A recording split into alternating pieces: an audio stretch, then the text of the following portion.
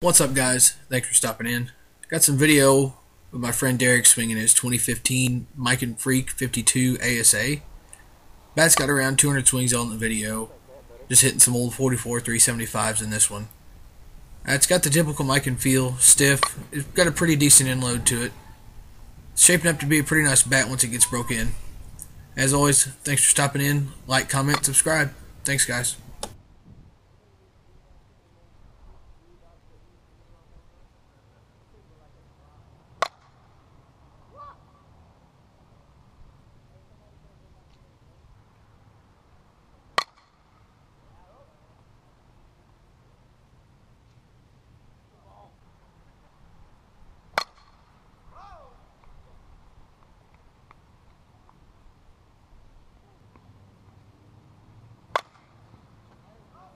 Take that every day.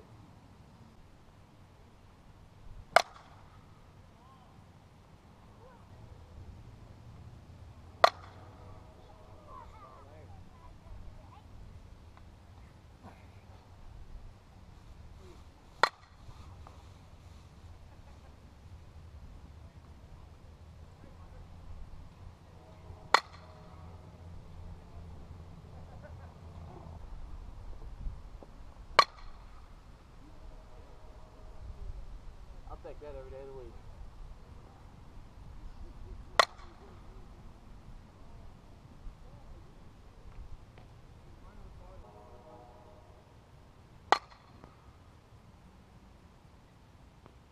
I'll end on that. I'll end on that.